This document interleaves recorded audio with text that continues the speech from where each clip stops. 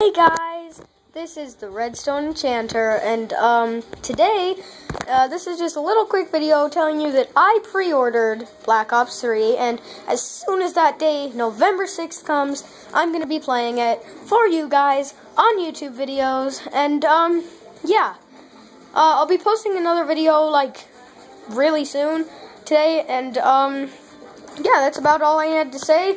So stoked for Black Ops 3. I I, I just wish the day they would come.